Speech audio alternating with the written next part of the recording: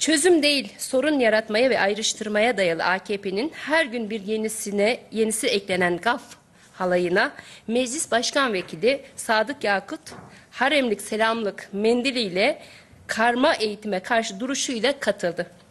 Başbakan'a sadık kalmak uğruna bizim için Yakut değerindeki çocuklarımıza incitti, ailelerimize endişe saldı, temsil ettiği makamı taşıyamadığını kanıtladı. Ülkemizin çocuk gelinler, cinsel taciz ve tecavüz, çocuklarımızın eğitimi, çocuk işçiliği karnesi son derece üz- üzücü iken Başkan Vekili Yakut çocuklarımızın karşısına geçti ve büyük bir skandala karıştı. Haklarının konuşulduğu bir günde özgürlüğü ve eğitimi kısıtlama ilanı yapmak ancak fıkralara ve AKP'li yıllara konu olabilir skandallar değerindedir arkadaşlar.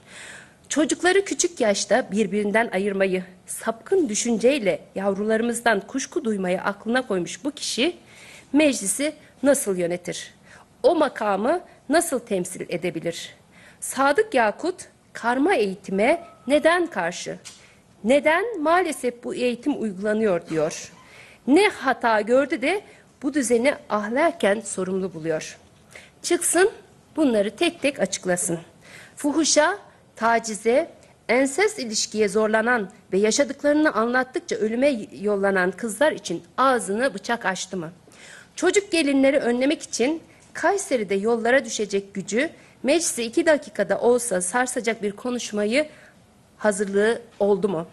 Değerli arkadaşlar, Sadık Yakut Başbakan'a sadık kalma adına makamının ağırlığını çoktan yitirmiştir. Cumhuriyetin değerleriyle bağdaşmadığını belgelemiş, sonraki açıklamalarıyla konuştukça batmış, çocuklarımızın kardeşlik duygularını dar kalıplı siyaseti ve ağır bilinçaltı sorunları uğruna sömürmüştür.